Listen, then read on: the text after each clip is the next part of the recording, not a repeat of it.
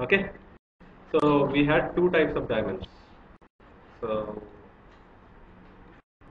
standard dimensions and attributed dimensions standard dimensions again there are two types annam which is dense and sparse annam dense and ela and sparse ante enti choose chusam dense valla em avutundi sparse valla em avutundi and after that we discussed database properties.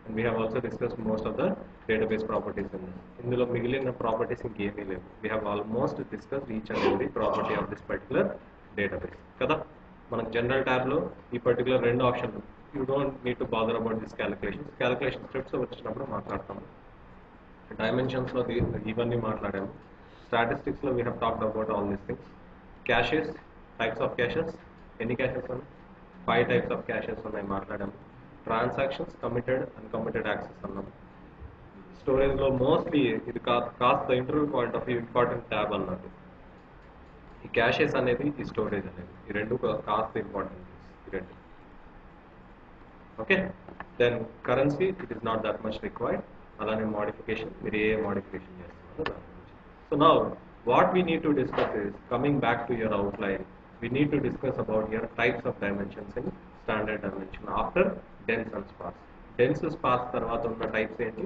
Nothing but you have account dimension type and you have a time dimension type okay so మనం ఇక్కడ account అని రాసిన dimension పేరు account కాదు.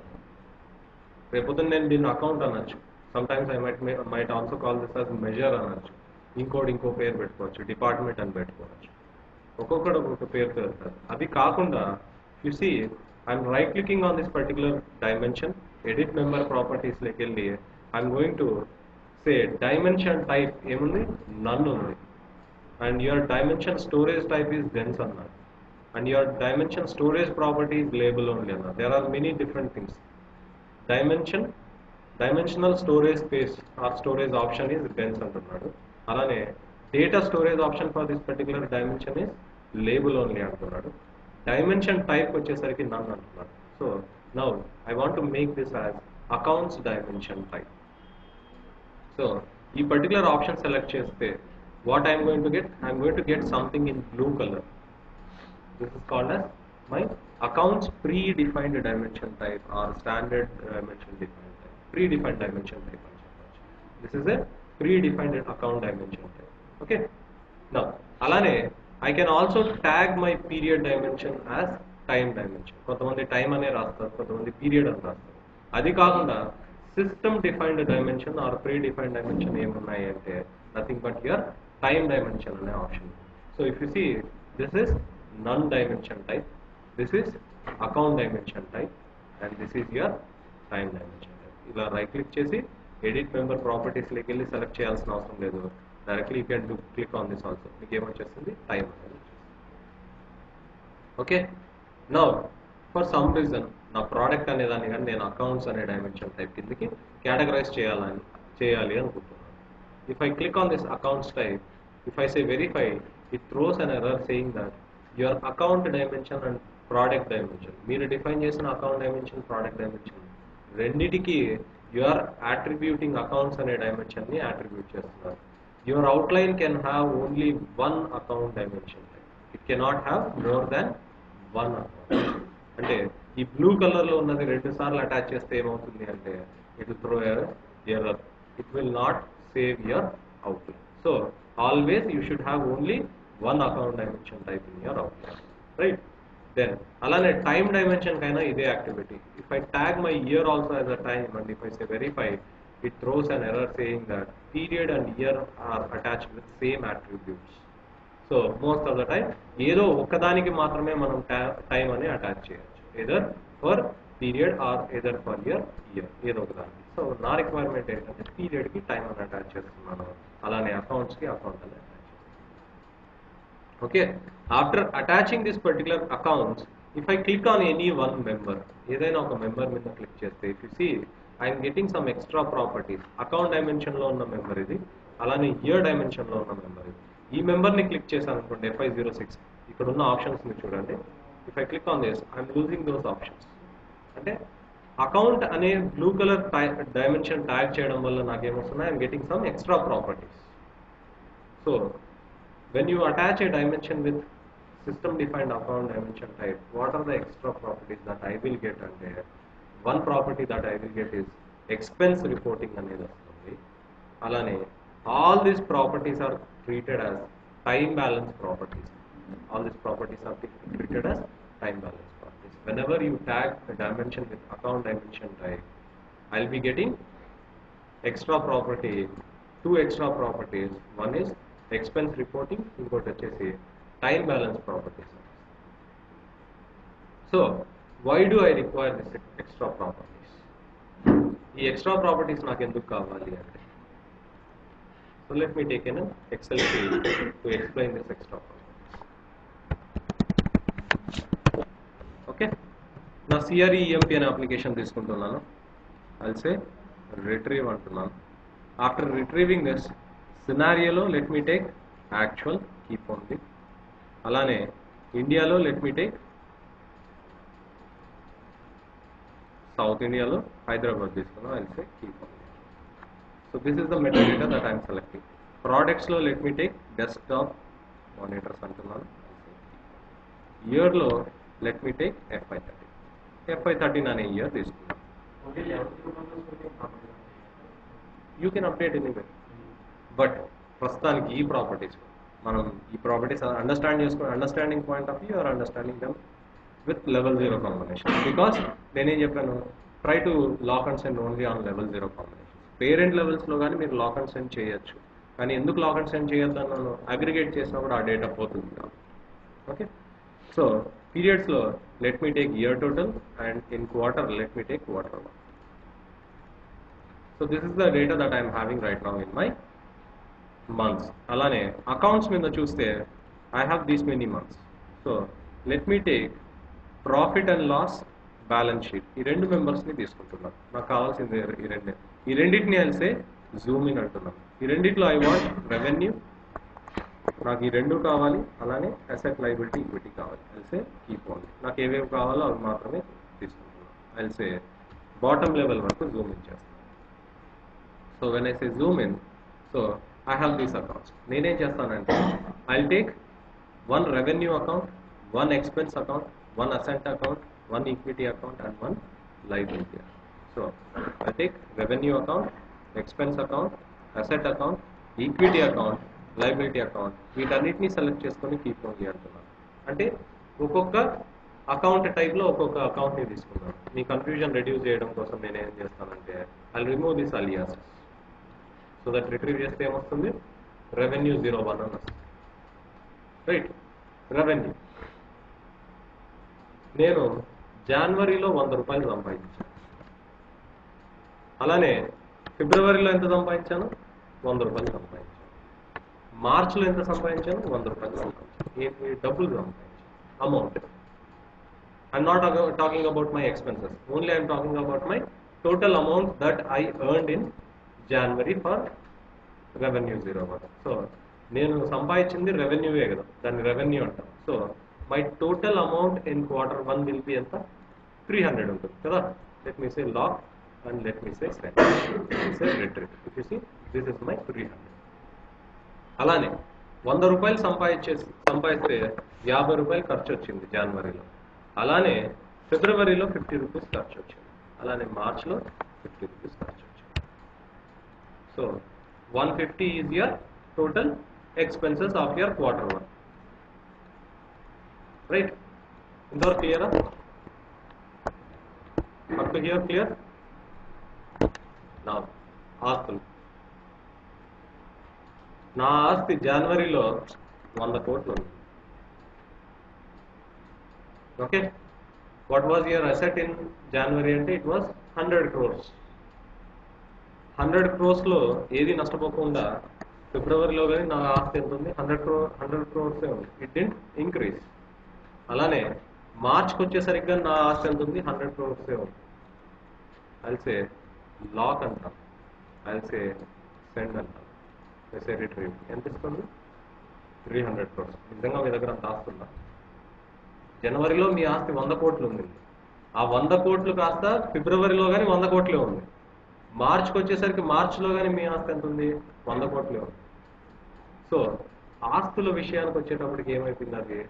It should not sum up it should be it should be giving whatever I'm having today నా దగ్గర ఎంత ఉందో అంత డిస్ప్లే చేయాలి కానీ ఇదేం చేస్తుంది?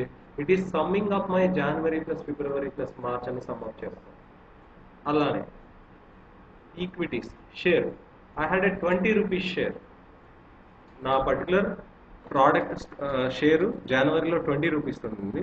అది కాస్త ట్వంటీ టూ రూపీస్ అయింది. అది కాస్త మార్చ్కి వచ్చేసరికి హండ్రెడ్ రూపీస్ అయింది. If I say lock and if I say send and if I say retrieve నా షేర్ వాల్యూ ఈరోజు క్వార్టర్లో వన్ ఫార్టీ టూ అని చూపిస్తుంది. కరెక్టా ఎందుకంటే హండ్రెడ్ రూపీస్ నా షేర్ ఈరోజు క్వార్టర్ ఈజ్ నథింగ్ బట్ మార్చ్నే మార్చ్ అనే వాల్యూవే మీ క్వార్టర్ ఏ కేసులోకి వస్తే when it is balance sheet accounts balance sheet accounts ఆస్తులు అప్పులు విషయానికి వచ్చినప్పుడు ఏం చెప్పాలి అది? It should be giving me whatever I'm having today అదే రెవెన్యూ కానీ ఖర్చులకు కానీ వస్తే ఖర్చు నీకు క్వార్టర్ వన్లో ఎంత ఖర్చు వచ్చిందంటే nothing but January plus February అనే చెప్పాలి. మార్చ్ అనే చెప్పాలి. అలానే డబ్బులు ఎన్ని వచ్చినాయి అంటే January plus February plus March. ఎంత వచ్చిందో చెప్పాలి. ఎంత మిగిలింది అనేది తర్వాత. ఎక్స్పెన్స్ పైన రెవెన్యూ ప్లస్ ఎక్స్పెన్స్ చేస్తే వస్తుంది ఆ రెవెన్యూ మైనస్ ఎక్స్పెన్స్ చేస్తే వస్తుంది. ఆ వాల్యూ తర్వాత. కానీ నా క్వార్టర్ వన్ మీద చూస్తే it is showing a different number for my balance sheet అక్కడ బ్యాలెన్స్ షీట్ అకౌంట్స్ అంటే ఏంటి? నథింగ్ బట్ మీ దగ్గర ఎంత బ్యాలెన్స్ ఉందో చూపించాం. ఎండ్ ఆఫ్ ది డే ఈ రోజు సాయంత్రం లోపు మీ దగ్గర ఎంత డబ్బులు ఉన్నాయో అవి మాత్రమే చూపించాం. ఓకే కానీ ఇదేం చేస్తుంది? నిన్నటిది మొన్నటిది కానీ క్యాలిక్యులేట్ చేస్తుంది. ఇలాంటి కేసులో what I do is I go and tag this particular balance sheet accounts A account use చేస్తున్నాను? ఐఎమ్ యూజింగ్ దిస్ అకౌంట్ అలానే I'm using this account I'm also going to use this liability account liability అంటే అప్పులు. Nothing but జనవరిలో నా అప్పు వంద కోట్లు వంద రూపాయలు వంద లక్షలు ఉంది. అది కాస్త ఫిబ్రవరిలోకి వస్తే వన్ ట్వంటీ అయింది. అది కాస్త వన్ ఫిఫ్టీ అయింది. సో మీద యాక్చువల్గా మీ దగ్గర ఇప్పుడు అప్పులు ఎంత ఉన్నాయి? నూట యాభై లక్షలు నూట యాభై కోట్లు నూట యాభై రూపాయలు కానీ ఇఫ్ ఐ సే రిట్రీవ్ ఇది ఎంత చూపిస్తుంది? మూడు వందల డెబ్బై రూపాయలు అని చూపిస్తుంది. మూడు వందల డెబ్బై కోట్లు అని చూపిస్తుంది. సమ్ వాట్ ఎవర్ కాన్స్టెంట్ ఇవ్వండి క్రోర్స్ కావాలంటే క్రోర్స్ ల్యాక్స్ కావాలంటే ల్యాక్స్ ఏదైనా ఎక్కువే కదా. మనం యాక్చువల్గా అప్పున్నది నూట యాభై అయితే ఇది డబుల్ చూపిస్తుంది. So even at your liabilities you should be shown with your last value మీ మార్చ్లో ఎంత వాల్యూ ఉంటుందో అది చూపించాలి. సో నేను ఇప్పుడు ఫార్ములా ఏమని రాయాలి ఇక్కడ? On this particular account I should be saying that if it is quarter one show only March value అని రాయాలి. అలా రాయకుండా they have provided and flag for you ఒక ఫ్లాగ్ లాంటిది ఇచ్చాడు. సో ఎలాంటి ఫ్లాగ్స్ ఇచ్చాడంటే టైం బ్యాలెన్స్ ప్రాపర్టీస్ అనే ఫ్లాగ్స్ ఇచ్చాడు. ఈ టైం బ్యాలెన్స్ ప్రాపర్టీస్లో ఏ ఏ ఫ్లాగ్స్ ఉన్నాయంటే టీబీ ఫస్ట్ అనే ఫ్లాగ్ ఉంది అలానే టీబీ లాస్ట్ అనే ఫ్లాగ్ ఉంది టీబీ యావరేజ్ అనే ఫ్లాగ్ ఉంది టీబీ నన్ అనే ఫ్లాగ్ ఉంది. బై డిఫాల్ట్ అన్నిటికీ వచ్చేది ఏమొస్తుంది? టీబీ నన్ అనే వస్తుంది.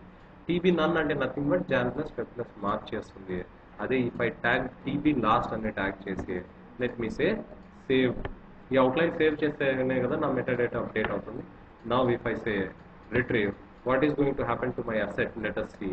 I'll keep it here and I'll say retrieve. What is it becoming? నా మార్చ్ వాల్యూ ఎంత ఉంటే అంతే చూపిస్తుంది. టీబీ లాస్ట్ అని ట్యాగ్ చేయడం వల్ల ఏమవుతుందంటే ఒక క్వార్టర్ కింద ఏదైతే లాస్ట్ మంత్ ఉంటుందో ఆ మంత్లోని వాల్యూ తీసి చూపిస్తుంది. మీరు రాసిన మంత్ నేను మార్చిని ఫస్ట్ రాసి సెకండ్ ఫిబ్రవరి రాసి థర్డ్ జనవరి రాశాను అనుకోండి. ఏ ఏ మంత్ వాల్యూ తీసుకొస్తుంది? జనవరి వాల్యూవే తీసుకొస్తుంది? It depends upon your outline order so ఎక్కడ పనిచేస్తుంది ఈ particular time balance TB last అనేది it is going to work on your period డైమెన్షన్లో work చేస్తుంది. పీరియడ్ డైమెన్షన్లో ఈ క్వార్టర్ వన్లో మార్చ్ మీద ఏ వాల్యూ ఉంటుందో ఆ వాల్యూ చూపిస్తారు థర్డ్ ఏ మెంబర్ ఉంటే ఆ మెంబర్ ఇన్ కేస్ మీరు జనవరి కింద తీసుకొచ్చి మార్చి పైకి పెట్టారనుకోండి జనవరి వాల్యూవే తీసుకొచ్చి చూపిస్తుంది. క్లియర్ అంటే మనం ప్రాపర్టీ అటాచ్ చేస్తున్నదేమో ఇక్కడ అటాచ్ చేస్తున్నాం. ఇక్కడ అటాచ్ చేస్తున్నాం. కానీ అది వర్క్ చేస్తున్నది ఎక్కడ వర్క్ చేస్తుంది? It is working on your period dimension ఎందుకు అది పీరియడ్ డైమెన్షన్ మీదే వర్క్ చేస్తుంది అంటే when you are tagging this time balance properties in your outline compulsorily there should be a time dimension account dimension tag చేశారు.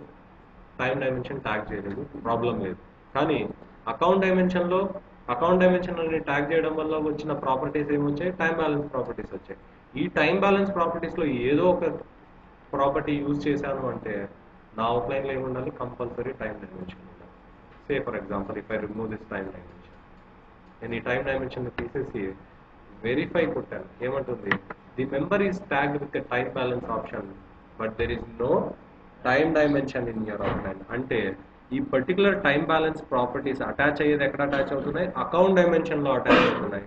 కానీ work అయ్యేది ఎక్కడ work అవుతాయంటే your system defined or predefined time dimension కింద work అవుతాయి so నేను ఇప్పుడు దీని మీద పీరియడ్ అనే డైమెన్షన్ ఆర్ టైం అనే డైమెన్షన్ ట్యాగ్ చేయడం వల్ల what is going to happen when I say retrieve ఈ పర్టికులర్ అసెట్ అనే దానికి టీబీ లాస్ట్ అనే అకౌంట్ అటాచ్ చేయడం వల్ల ప్రాపర్టీ అటాచ్ చేయడం వల్ల ఏమైంది? It is working on your time dimension nothing but your period dimension which is attach with your time dimension so నేను రిట్రీవ్ చేస్తే ఈ హండ్రెడ్ సెట్ అయింది. నా I want to set it to my equity and liability also so నేనేం చేస్తాను? ఈక్విటీలో ఈ particular మెంబర్కి టీపీ లాస్ట్ అలానే లైబిలిటీలో ఈ పర్టికులర్ మెంబర్కి టీపీ లాస్ట్ అనేది సెట్ చేస్తాను. నా ఇఫ్ ఐ సే రిట్రీవ్ ఏమవుతుంది? ఇది హండ్రెడ్ ఇది హండ్రెడ్ ఇది one fifty nothing but it is displaying your March value always your balance sheet accounts should be attached with TB last property TB last అనే ప్రాపర్టీతో पता चल clear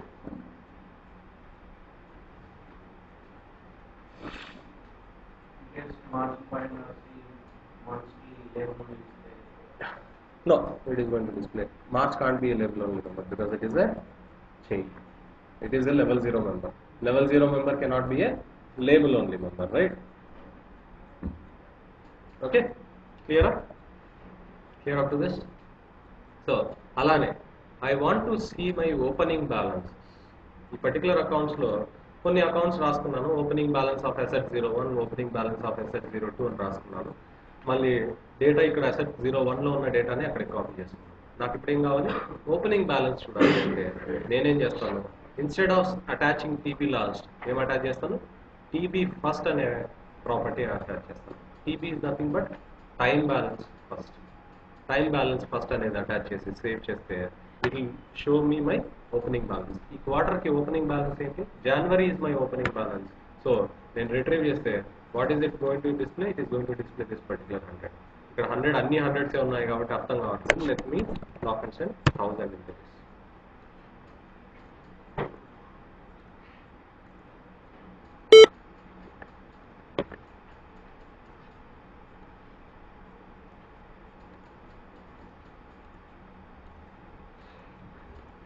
so retrieve చేస్తే thousand update. So TB last అంటే క్వార్టర్లో last month value తీసుకొస్తుంది.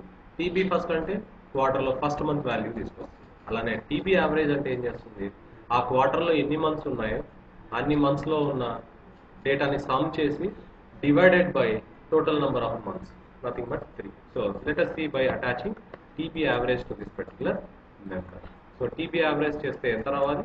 Nothing but it should give me value of 1000 plus 100 plus 100 nothing but 1200 divided by 3 అని di- display చేయాలి when I say retrieve it is giving your 400 so this is how your average is going to work okay TB first తెలుసు TB last తెలుసు TB average తెలుసు so with the TB last if you see in your properties మీరు ఏదైనా ఒక particular time balance property set చేయంగానే దీని పక్కనే కొన్ని ప్రాపర్టీస్ వస్తున్నాయి ఇఫ్ యూ సీ ఇక్కడ నాకు టైం బ్యాలెన్స్ ప్రాపర్టీస్ వరకే వస్తున్నాయి. కానీ ఏదైనా మెంబర్కి టైం బ్యాలెన్స్ ప్రాపర్టీ అటాచ్ చేసిన మెంబర్కి చూస్తే I'm getting some other properties over ఈ ప్రాపర్టీస్ ఎందుకు use అవుతాయంటే now I have attached asset zero one as TB last okay after attaching this particular member as TB last if I say retrieve it is displaying hundred but for some reason ఏమైందంటే ఈ particular మార్చ్లో user didn't upload data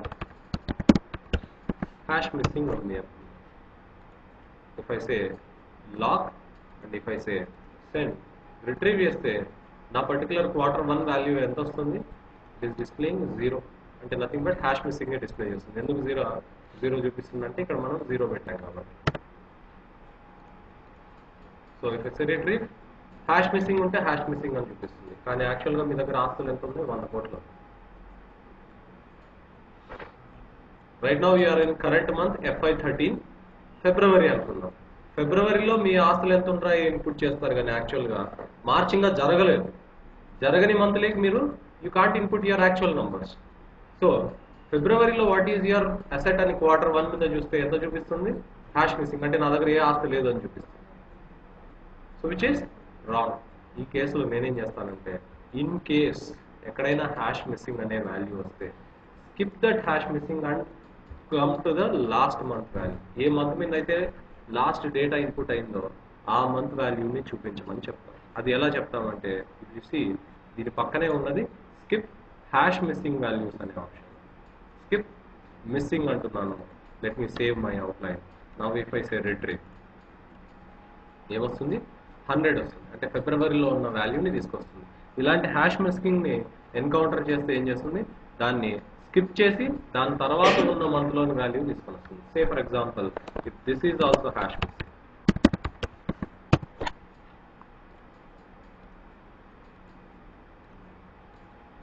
what is happy it is skipping this both month జనవరిలో ఉన్న value తీసుకొస్తుంది so ఇప్పుడు మీరు actuals జనవరిలో ఉన్నారు అనుకుందాం అంటే మీరు కరెంట్ మంత్ జనవరి మీరు కరెంట్ మంత్ జనవరిలో ఉన్నప్పుడు ఏమవుతుంది? Nothing but it is going to display only your January data quarter one మీద చూస్తే నాకు తప్పు చూపించాలి ఎందుకు? It is skipping year hash missing say for example ఇప్పుడు యూజర్ హ్యాష్ మిస్సింగ్ బదులు జీరో అప్లోడ్ చేశాడు. లాక్ చేశాడు సెండ్ చేశాడు. అసెట్ రిట్రీవ్ ఎంత డిస్ప్లే అవుతుంది? జీరో హ్యాష్ మిస్సింగ్ అయితే స్కిప్ చేయమన్నాం కానీ జీరోని స్కిప్ చేయమని లేదు కదా so you have an option called as skip zero అనే ఆప్షన్ సో స్కిప్ మిస్సింగ్ బదులు you can say skip zero అనొచ్చు so I select this particular skip zero and I save my out so when I say retrieve skip zero అయితే చేసింది కానీ skip hash missing వచ్చింది so నాకు ఇప్పుడు ఏం కావాలి ఇది స్కిప్ కావాలి ఇది స్కిప్ కావాలి thousand so in that case I can use the last property called as skip hash missing and skip zero అనే ప్రాపర్టీని యూజ్ చేయొచ్చు రెండింటిని స్కిప్ చేయి అని చెప్పచ్చు. Okay? So I'll be selecting this particular property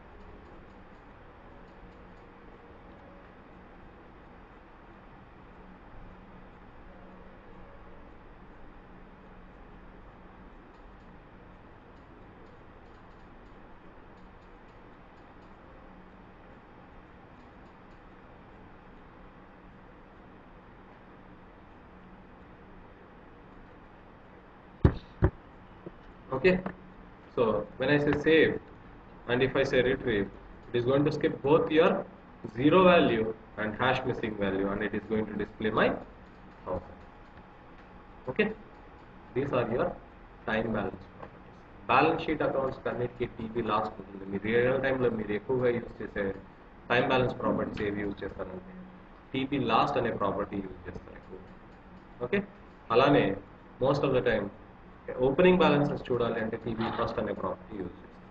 okay average అనేది very rare of the rarest use చేస్తారు. అలానే ఫస్ట్ అనేది కానీ కొద్దిగా రేర్ కానీ యూజ్ చేస్తారు. లాస్ట్ అనేది by default for your assets liabilities equities by default మీరు పెట్టే ప్రాపర్టీ ఏంటి? టీబీ లాస్ట్ అని పెడతారు. స్కిప్ మిస్సింగ్ అనేది default these are your time balance properties okay కానీ ఈ పర్టికులర్ ప్రాపర్టీస్ని రూల్ ఫైల్ ద్వారా పాస్ చేయాలి అంటే. Time balance first TB first TB last అని పాస్ చేస్తే యాక్సెప్ట్ చేయదు so for TB first you have to pass this property under properties అనే ట్యాబ్ కిందే పాస్ చేయాలి. పేరెంట్ చైల్డ్ కన్సాలిడేషన్ ప్రాపర్టీ అలానే స్టోరేజ్ ప్రాపర్టీ అలానే అకౌంట్ డైమెన్షన్ అయితేనే వచ్చే ప్రాపర్టీ ఏంటి? Skip missing properties and time balance property. ఈ టైం బ్యాలెన్స్ ప్రాపర్టీస్ని కానీ మనం ప్రాపర్టీ అనే ట్యాబ్ కింద డిఫైన్ చేస్తాము. సో టీబీ ఫస్ట్ అంటే క్యాపిటల్ ఎఫ్ అని రాస్తాము. టీబీ లాస్ట్ అంటే క్యాపిటల్ ఎల్ అని రాస్తాము. అలానే టీబీ యావరేజ్ అంటే క్యాపిటల్ ఏ అని రాస్తాం F for first L for last A for average. So TB first capital F TB last L TB average A అలానే స్కిప్ మిస్సింగ్ అంటే క్యాపిటల్ ఎం అని పాస్ చేస్తాం. Will be passing capital M skip zero అంటే Z అని pass చేస్తాను Z అని pass చేస్తాను skip missing and zero అంటే బి అని పాస్ చేస్తాను capital B B B B for burger B అని పాస్ చేస్తాను బి అని పాస్ చేస్తే ఏమవుతుంది? డైనమిక్ క్యాల్కన్ స్టోర్ అవుతుంది. బి అని పాస్ చేస్తే it will become skip missing and zero అంటే నథింగ్ బట్ స్కిప్ బోత్ అని అర్థం. స్కిప్ బోత్ అనే దాన్ని మనం ఏమంటాం? బి అని ఇదేమో skip missing skip zero skip both nothing but hash missing and zero రెండింటిని స్కిప్ చేస్తాం. So these are the properties that we so this is about year time balance properties ఈ time balance ప్రాపర్టీస్లో ఏమైనా doubts ఉన్నాయా? Account dimension point of view Okay, we have completed about your time balance properties and we also learned how to pass them with help of a rule file. Next thing is, I want to discuss about my expense reporting. So, expense reporting అనే దాని గురించి మాట్లాడాలి అంటే let me take my scenario నాకు ఇప్పుడు ఏం కావాలి అంటే I want to see the variance between by between my actual comma budget నేను నాకు యాక్చువల్గా ఎంత డబ్బులు వచ్చినాయి నేను బడ్జెట్ ఎంత రాసుకుంటున్నానో చూడాలి. రెవెన్యూస్కి చూడాలి. అలానే ఎక్స్పెన్సెస్కి కానీ చూడాలి. రెవెన్యూస్ క్యాలిక్యులేట్ చేసేటప్పుడు బిజినెస్ వాళ్ళు ఆర్ ఫంక్షనల్ పీపుల్ ఎలా క్యాలిక్యులేట్ చేస్తారంటే యాక్చువల్ మైనస్ బడ్జెట్ మీకు యాక్చువల్గా వచ్చిన డబ్బులు ఎంత? మీరు రాసుకుంటున్న బడ్జెట్ ఎంత? అంటే nothing but variance equals to actual minus budget అని రాస్తాం. ఇప్పుడు రెవెన్యూ అనే అకౌంట్ వస్తుంది. అదే ఎక్స్పెన్స్ అనే అకౌంట్ వచ్చింది అనుకోండి.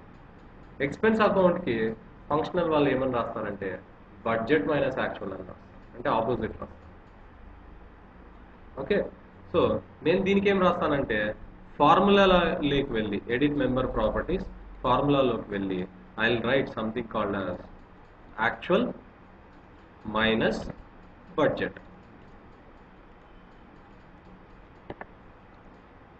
semicolon also okay. ఇది డైనమిక్గా క్యాలిక్యులేట్ కావాలి కాబట్టి నేనేం రాస్తాను? ఐ ట్యాగ్ దిస్ అదే dynamic calculator also save so coming to my Excel sheet నాకు ఏవేవి కావాలి? I want my revenue and expense also keep అలానే let me take only January into consideration keep only అన్నాను. సో నేనేం చేశాను? I kept my revenues over here and I kept my expenses over here అలానే జనవరిని ఎక్కడ తీసుకొచ్చాను ఇక్కడ తీసుకొచ్చాను. Just small manipulation so I said retrieve okay అలానే బడ్జెట్ కానీ కావాలి ఇలా. So same combination what I wanted I want budget so budget for this so if I say retrieve I don't have any data so నాకు యాక్చువల్గా వచ్చింది hundred నేను ఎంత వేసుకుంటున్నాను? ఎంతవరకు వేసుకోవచ్చు? సెవెంటీ వరకు నా బడ్జెట్ వేసుకోవచ్చు అలానే నా ఎక్స్పెన్సెస్ లాస్ట్ ఇయర్ ఎంత? ఫిఫ్టీ రూపీస్ ఎక్స్పెన్స్ వచ్చింది. ఈసారి ఏం చేయాలి? కాస్త తగ్గించాలి. So let me put as twenty so also lock అన్నాను. అలానే అల్సే సెండ్ అన్నాను. ఫెసిలిటరీ I have this information so now I want to look at my variance VR అని ఒక మెంబర్ ఉంది కాబట్టి అది tag this member as now I'll say retrieve. What this is going to do, this is going to do 100 minus 70, actual minus budget 30, actual minus budget 30 అని నాకేం కావాలి? Expense అయితే ఏమని క్యాలిక్యులేట్ చేయాలి? It has to calculate budget minus actual అని calculate చేయాలి. అంటే twenty minus fifty is nothing but minus thirty అని రావాలి. కానీ ఇక్కడ ఎంత వస్తుంది? ప్లస్ థర్టీ అని వస్తుంది. సో నేను ఇన్ కేస్ ఫార్ములాని పోయి if I change it to budget minus actual చేశాను అనుకోండి ఏమవుతుంది? ఇది కానీ మైనస్ థర్టీ అయిపోతుంది. సో నా పర్టికులర్ ఫార్ములాకి నేను రాసే ఫార్ములాకి కొద్దిగా ఇంటెలిజెన్స్ ఉండాలి. ఆటోమేటిక్గా ఎక్స్పెన్స్ అకౌంట్ అయితే బడ్జెట్ మైనస్ యాక్చువల్ చేయాలి. అలానే ఎక్స్పెన్స్ అకౌంట్ ఉంటే sorry normal account non expense accounts ఉంటే ఏం చేయాలి? It should be actual minus budget చేయాలి.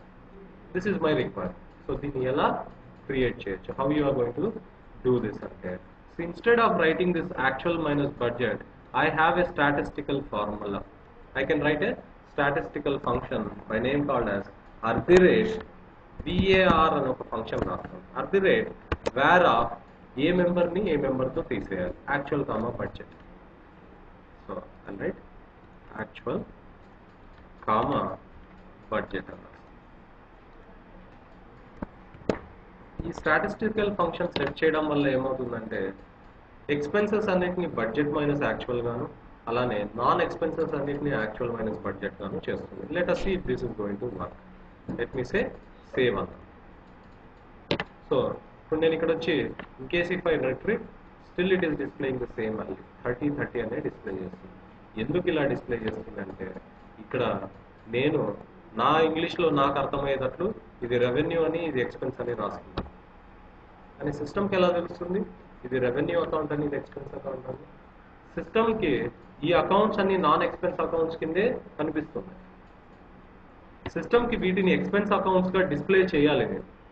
అది చేయాలి అంటే I should be setting up some flag on this particular number అది ఏం ఫ్లాగ్ అంటే ఎక్స్పెన్స్ రిపోర్టింగ్ అనే ఫ్లాగ్ ఎనేబుల్ చేస్తాం.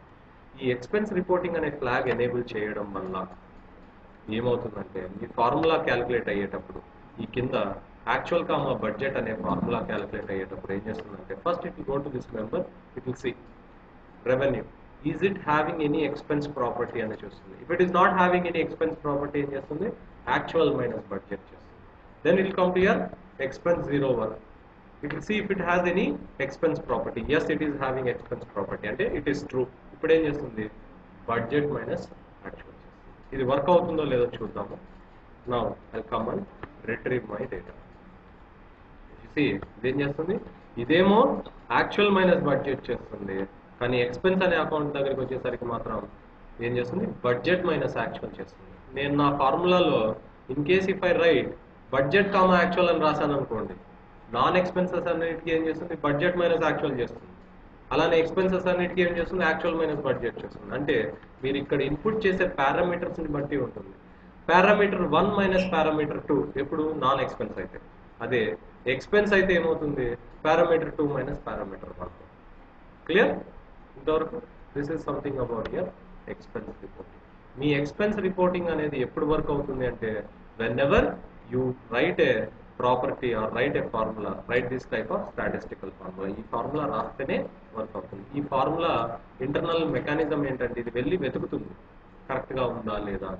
ఈ వేరియన్స్ రిపోర్టింగ్ అనేది ఉందా లేదా ఎక్స్పెన్స్ వేరియన్స్ ఎక్స్పెన్స్ రిపోర్టింగ్ అంటారు లేదా వేరియన్స్ రిపోర్టింగ్ రెండు they are one and so ఈ particular account డైమెన్షన్లో if you see all of these members are non expenses apart from your expense zero one ఎందుకంటే దీనికి expense report అనే tag చేశారు. Tag attach చేశాం కాబట్టి దీన్ని మాత్రమే ఎక్స్పెన్స్గా ట్రీట్ చేస్తుంది. మిగతా అన్ని అకౌంట్స్ని it treat it as a non expense account okay నా రూల్ ఫైల్ ద్వారా ఏదైనా ఒక పర్టికులర్ అకౌంట్ని ఎక్స్పెన్స్ రిపోర్టింగ్ అనే ప్రాపర్టీ అటాచ్ చేయాలంటే క్యాపిటల్ లెటర్ ఈ అనే ప్రాపర్టీ ఈ అనే ఈ e అనే క్యారెక్టర్ పాస్ చేస్తే అది ఎక్స్పెన్స్ రిపోర్టింగ్గా వచ్చేస్తుంది. కానీ దేని కింద పాస్ చేయాలి? ప్రాపర్టీస్ అనే ట్యాబ్ కింద ప్రాపర్టీ పాస్ చేయాలి. సో ప్రాపర్టీస్ కింద ఇప్పుడు ఏమేమి పాస్ చేసాం? అకౌంట్ డైమెన్షన్ అయితే కన్సాలిడేషన్ ప్రాపర్టీ పాస్ చేసాము. స్టోరేజ్ ప్రాపర్టీ పాస్ చేసాము. టైం బ్యాలెన్స్ ప్రాపర్టీస్ పాస్ చేసాము.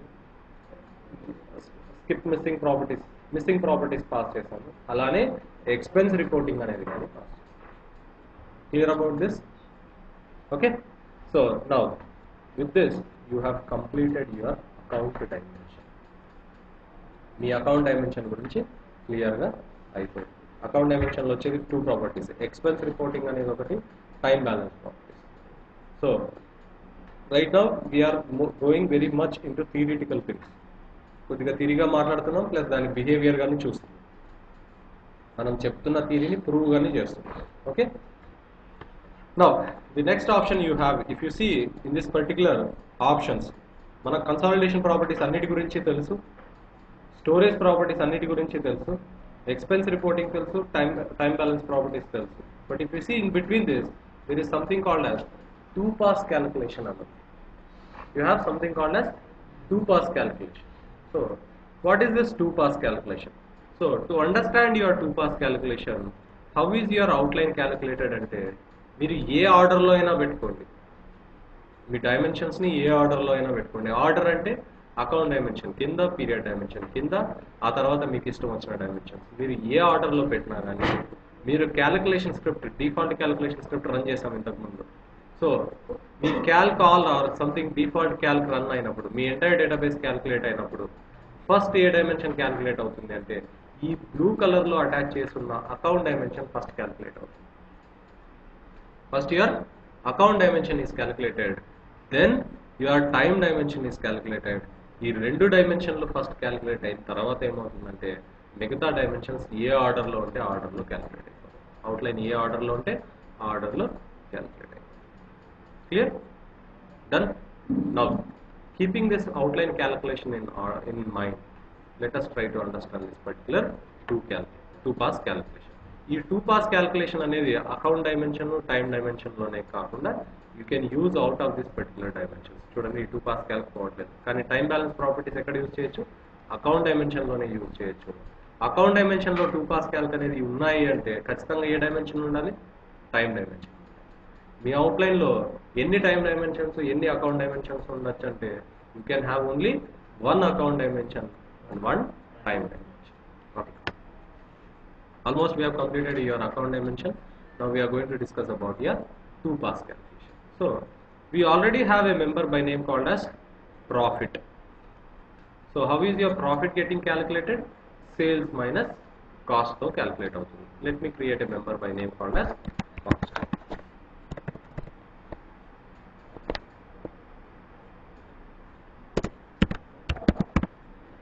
cost cost how is your cost cost అంటే your cost is calculated based upon all expenses లేకపోతే నేను ఈ పర్టికులర్ కన్ఫ్యూజన్ అందుకు స్టోర్డ్ మెంబర్ చేసేసాను. అలానే ఫార్ములా కానీ తీసేస్తాను.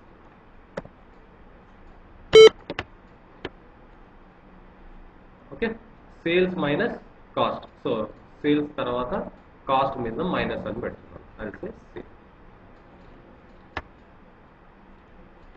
So now what I'll do, I'll pivot this.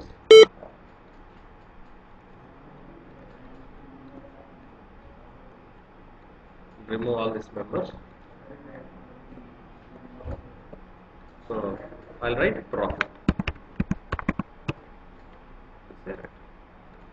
So actuals మాత్రమే తీసుకుంటున్నాను and I'm going to zoom in to my profit అలానే I'm going to take January February March into consideration so sales అంటే జనవరిలో I had hundred sales and cost ఎంత వచ్చింది? Fifty cost వచ్చింది ఖర్చు వచ్చింది.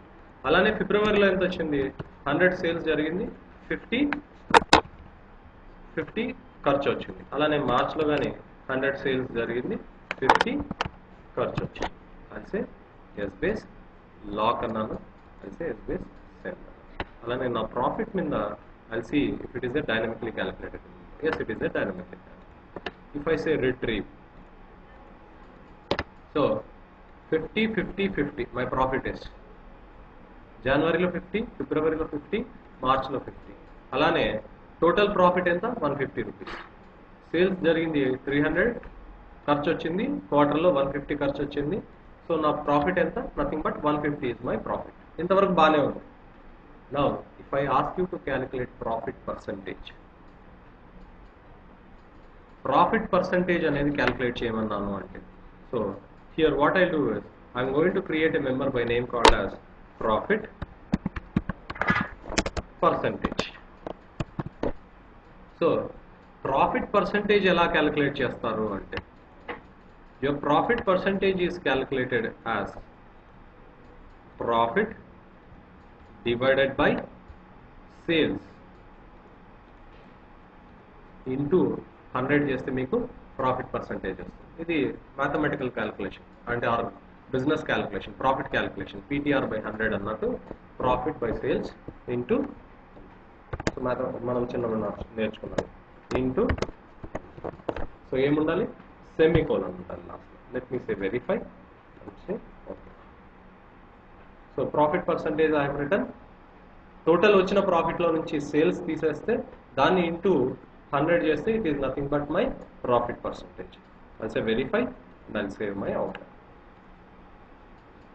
So now I want to calculate profit percentage. So if I say retrieve, ఎంత నా percentage profit percentage is not dynamically calculated number let me make it as ఇది కానీ నాకు డైనమిక్గా క్యాలిక్యులేట్ అయిపోవాలి కదా so I made this also as a dynamically calculated let me say save So now if I say retrieve fifty percent జనవరిలో fifty percent ఫిబ్రవరిలో మార్చ్లో fifty percent ఎక్కడైనా హండ్రెడ్ పర్సెంట్ ఉంటుంది కానీ వన్ ఫిఫ్టీ పర్సెంట్ ఉంటుందా? ఎంత వచ్చింది ఇక్కడ on your quarter one I'm having one one fifty percent profit అంట. ఇస్ ఇట్ పాసిబుల్ సో ఇదేం చేస్తుంది? It is nothing but summing your January plus February plus March వాల్యూని సమ్ చేస్తుంది instead of summing this what it has to do it has to give my average value or calculated value. How is your profit percentage calculated for January? January equals to total profit divided by sales 100 into 100 కదా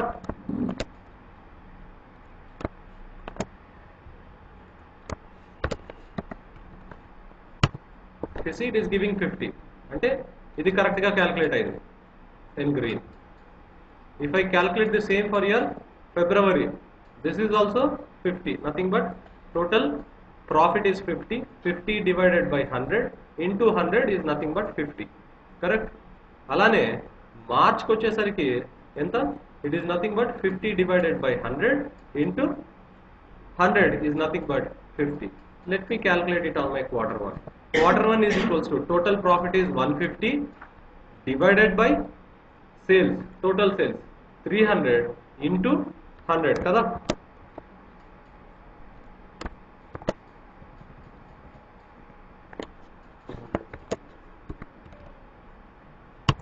so ఎంత వస్తుంది? Fifty వస్తుంది. కానీ మీ SBS ఎంత చూపిస్తుంది? One fifty అని తప్పు చూపిస్తుంది. ఎందుకు ఇలా జరుగుతుంది? ఐడియా ఉందా? ఎనీ ఐడియా ఫస్ట్ ఏ డైమెన్షన్ క్యాలిక్యులేట్ అవుతుంది? Your account dimension is getting calculate first ఈ డైమెన్షన్ క్యాలిక్యులేట్ అవుతుంది.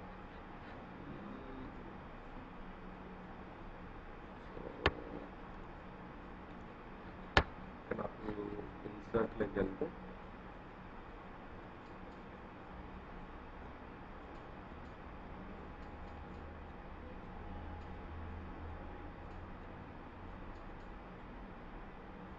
so where can see this arrow marks ఇవన్నీ ఎక్కడ కనిపిస్తాయి ఫార్ములా ఆడిటింగ్లో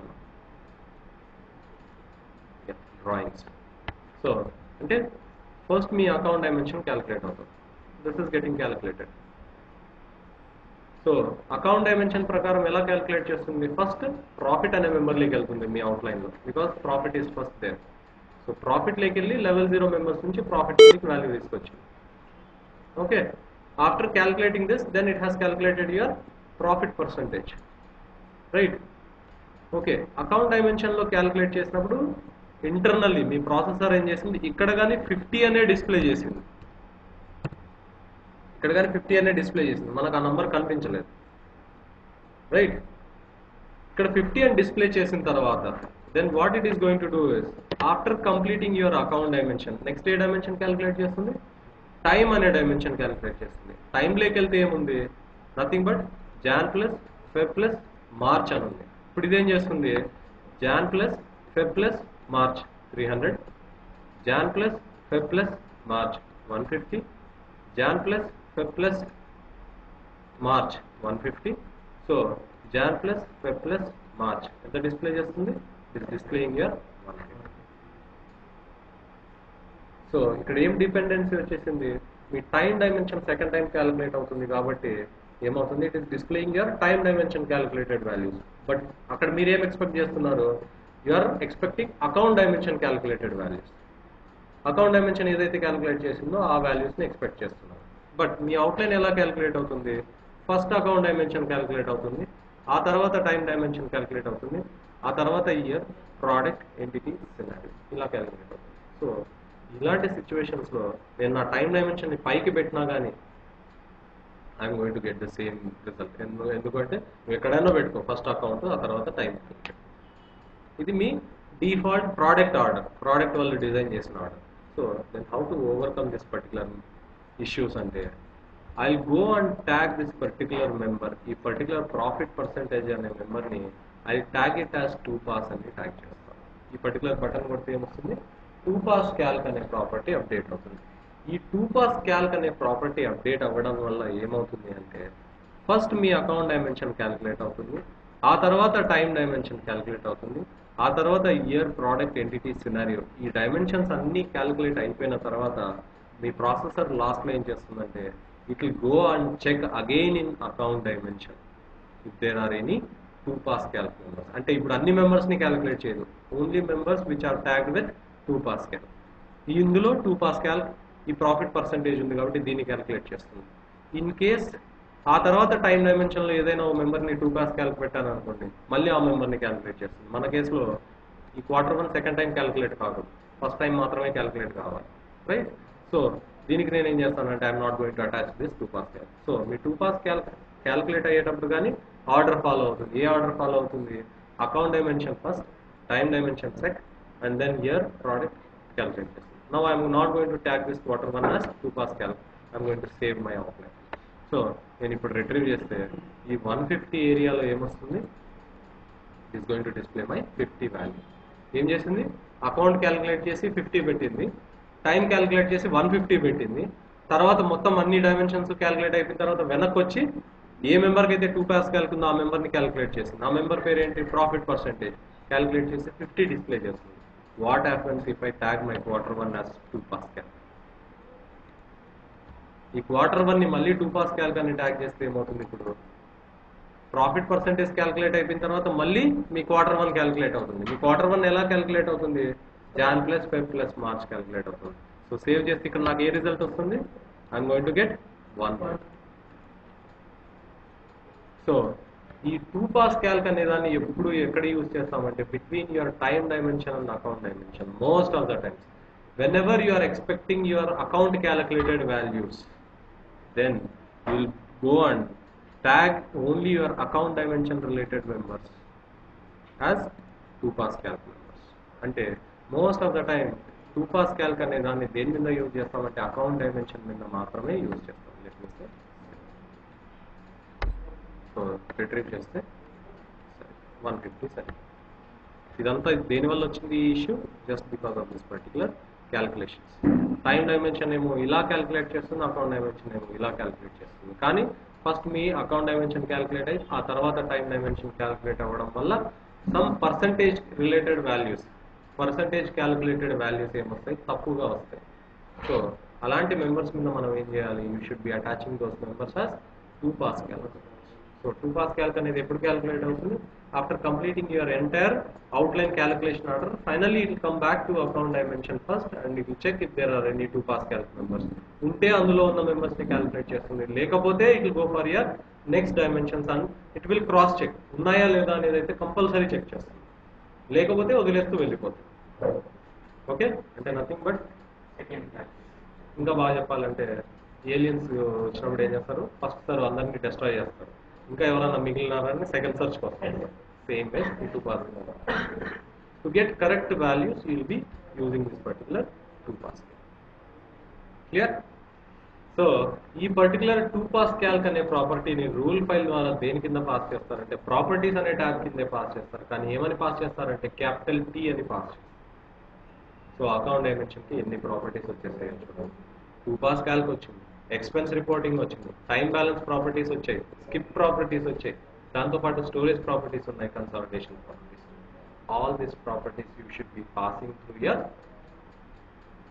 properties అనే ట్యాబ్ కింద పాస్ అన్ని సపరేట్ సపరేట్ ట్యాబ్స్లో పెట్టి ప్రతి ట్యాబ్కి ప్రాపర్టీ అనే ప్రాపర్టీ అనే ఫీల్డ్ అసైన్ చేయొచ్చు. లేదా టీ కమా ఈ కమా ఎల్ కమా అని పెట్టేసి you can also send them in one single call T capital B. Hello? Hello? Hello? Okay. So this is about your two-pass calculation. So done with your account dimension. gear dimension is time dimension is.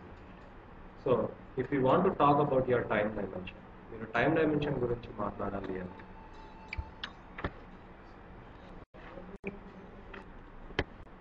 Okay. So clear about this particular two pass calculation. Two pass calculation expense reporting time balance properties. So this completes your account dimension. ఇంకా next మనం discuss చేయాల్సింది దేని గురించి? Time dimension గురించి మాట్లాడాలి. So మీకు time డైమెన్షన్లో వచ్చే property ఉండి ఒకే ఒక ప్రాపర్టీ వస్తుంది అమ్మయ్య right click on it and you have something called as dynamic time series అనే ప్రాపర్టీ మాత్రమే మీరు వేరే డైమెన్షన్స్ మీద క్లిక్ చేసి చూడండి still you'll be getting this dynamic time series కానీ ఇది దేని మీద వర్క్ అవుతుందంటే this is going to work అనే dimension which is packed with predefined or system defined time dimension దాని మీద మాత్రమే వర్క్ చేస్తుంది. Right click on this and dynamic time series అనే ఆప్షన్ సెలెక్ట్ చేయగానే it will give you some values called as history to date value అని ఇస్తుంది year to date value అని ఇస్తుంది సెషన్ టు డేట్ వాల్యూ అని వస్తుంది period to date quarter to date month to date week to date date to date అనే values వస్తాయి say for example if I'm in January January and I'm on date number ten tenth జనవరిలో ఉన్నాను నేను date to date of January చూడాలను date to date of January so date to date of January అంటే into in in in date I'll be passing date to date of ten అని pass చేశాను అనుకో ఏమిస్తుంది? One plus day number one plus day number two plus day number three plus day number four plus day number five six seven eight nine ten వరకు వాల్యూస్ని consider చేసిస్తాం. అదే date to date of January thirtieth అన్నాను అనుకోండి total January first నుంచి January thirtieth వరకు sum చేసి value ఇస్తుంది డే టు డేట్ ఆఫ్ అదే వీక్ టు డేట్ అన్నాను అనుకోండి. Nothing but Monday to Sunday Monday నుంచి సండే వరకు ఆర్ సండే టు సాటర్డే వరకు ఉంటుంది. So Sunday to Saturday say say for example week one week to date of Saturday అన్నాను అనుకోండి week వన్లో టోటల్ ఆ వీక్లో వచ్చిన వాల్యూస్ తీసిస్తుంది వీక్ టూ అన్నాను అనుకోండి ఆ పర్టికులర్ వీక్లో వచ్చిన వాల్యూస్ ఇస్తుంది అలానే quarter month to date of అన్నాను అనుకోండి. మంత్ టు డేట్ ఆఫ్ అంటే నథింగ్ బట్ జనవరిలో జరిగిన టోటల్ వాల్యూస్ని ఇస్తుంది అలానే క్వార్టర్ టు డేట్ అన్నాను అనుకోండి. Quarter to date of March అన్నాను అనుకోండి. Jan plus Feb plus March అని ఇస్తుంది అదే quarter to date of quarter two అన్నాను అనుకోండి. ఏ వాల్యూ ఇస్తుంది? It is nothing but it is going to give me April plus May plus June value ఇస్తుంది. It is not going to give me Jan plus Feb plus March ఇవ్వదు. అదే in case if I select year to date అన్నాను అనుకోండి. Year to date of April అంటే Jan plus Feb plus March plus April ఇస్తుంది. Quarter to date of April అంటే only April ఇస్తుంది. Okay let us see this so నేను నా అవుట్లైన్లో ఇన్ని options ఉన్నాయి. ఇవి డిఫాల్ట్గా వచ్చే ఆప్షన్స్ కానీ నా అవుట్లైన్లో ఉన్నవి మంత్స్ మాత్రమే ఉన్నాయి. సో ఏ ఆప్షన్ తీసుకోవచ్చు అంటే ఒక level one level above it you can take so months ఉన్నాయంటే you can take quarters and above that you can take year to date so let us see how to use this particular quarter to date ఈ option select చేశాను. ఏ generation మీద work కావాలంటే third generation మీద work కావాలి. అంటే nothing but one year January February March మీద work కావాలి అన్నాను I'll say OK. Now if you see dynamic time series member QTD is set in your outline. Let me save my outline. Now in my outline if I write something like this quarter to date of Q dash T dash D of Feb and Rasan what it should give sales Not 100 plus 100 it should be giving nothing but 200 and a value if I say retrieve.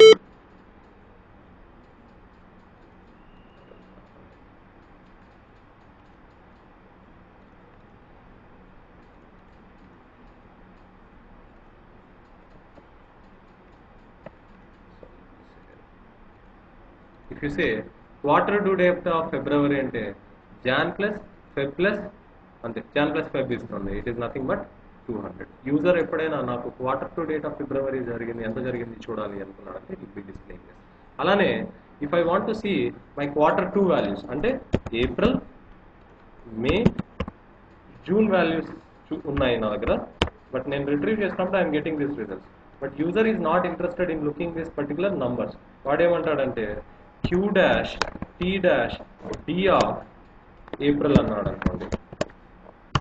If I say retrieve what is the value that it is going to display hash missing అని చూపిస్తుంది ఎందుకంటే your April is not having any data so if I try to perform any lock and if I try to perform any send it just works out on this particular members ఈ issue ఉండదు. So నేను నా April మీద lock and send చేస్తున్నాను. One two three అనేది lock and send చేస్తున్నాను. అలాగే దీన్ని టూ దీన్ని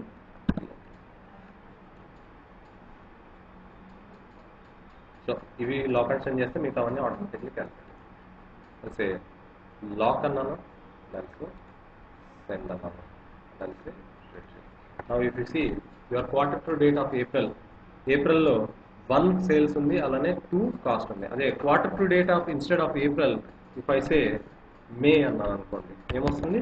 Nothing but it is going to give April plus May అని సో రిట్రీవ్ చేస్తే నథింగ్ బట్ త్రీ ఫైవ్ అనేది so this is how I can calculate my quarter to date values QTD so time అనే dimension set చేయడం వల్ల మీకు QTD అనే property or time sorry dynamic time series అనేది set చేయడం వల్ల you able to see this particular members though your outline is not having this particular members me అవుట్లైన్లో Q dash T dash D of అనే member లేదు కానీ still we are able to retrieve ఎందుకు ఇవి retrieve చేయగలుగుతున్నాం అంటే just because of this particular property called as dynamic time series member Q dash T dash D అనే member property పెట్టడం వల్ల ఈ ప్రాపర్టీ వస్తుంది. Okay clear so this completes your standard dimension standard dimensions are categorized into two types dense and sparse again they are categorized in four types account dimension time dimension country dimension and currency dimension మీరు కావాలంటే entry ఎంటిటీకి country అనే dimension tag చేయొచ్చు. With this you are not going to get any extra benefits out of this particular country dimension దీనివల్ల మీకు extra properties ఏం రావు. అలానే currency వల్ల కానీ you are not going to get any extra properties you can have only one country dimension and one currency dimension you cannot have more than one so this completes your standard dimensions what is left user defined attributes or attributes are left attributes user defined attributes రెండు ఉన్నాయి. ఈ రెండు అయిపోయిన తర్వాత We will be starting on your calculation steps after calculation steps will start discussing about your report scripts report scripts అవ్వగానే will start discussing about your filters filters అవ్వగానే will start discussing about your MaxLs MaxLs అయిపోయిన తర్వాత partitions partitions అయిపోయిన తర్వాత will be discussing about your ASO application we might discuss your ASO application even before. So this will complete your space parts. So 80% of your SBase is completed. ఇంకా next ఉన్న వాటి మీద interview క్వశ్చన్లు చాలా తక్కువగా వస్తాయి. ఇంతవరకే ఇంటర్వ్యూ క్వశ్చన్స్ ఎక్కువగా వస్తాయి. ఓకే సో నా దగ్గర ఒక బుక్ ఉంది which has all interview questions Essbase related interview questions try to practice read చేయడం స్టార్ట్ చేయండి. ఇప్పుడు వరకు మనం కవర్ చేసిన దాంట్లో ఎంత ఇన్ఫర్మేషన్ ఉంది అనేది చూడాలి clear so today will stop up stop up to this రేపు అట్రిబ్యూట్స్ కంప్లీట్ చేసి we'll also start calculation steps from tomorrow onwards this very important అంత ఈజీగా అర్థం కాదు బట్ బాగా కాన్సన్ట్రేట్ చేయండి. డెడ్ ఈజీగా చెప్తాను. ఆ పర్టికులర్ బేసిక్ కాన్సెప్ట్స్ గుర్తుపెట్టుకుంటే you can make big complex queries మీరే రాసేయచ్చు calculation okay so will stop for today fine ఎందుకంటే ఇంకా ఎక్కువ పోయామనుకోండి. రేపు వాళ్ళు వచ్చే వాళ్ళకి మిగతా ఆయనకు అసలు ఇంకేం అర్థం కాకపోవచ్చు. ఆయన ఒకరి కోసం ఆపుతున్నాం. సో మీరు ఎలా వస్తారు? కంటిన్యూ అయిపోతారు. అదంటే ఎస్బీఎస్ కంటిన్యూ అయిపోండి. ప్లానింగ్ తర్వాత చూస్తున్నాను నేను అదే చెప్తాను.